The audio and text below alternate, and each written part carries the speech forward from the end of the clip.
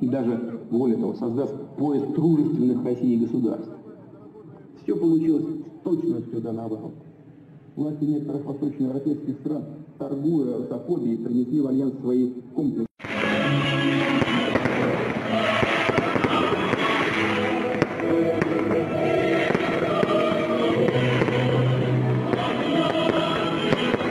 Все по-другому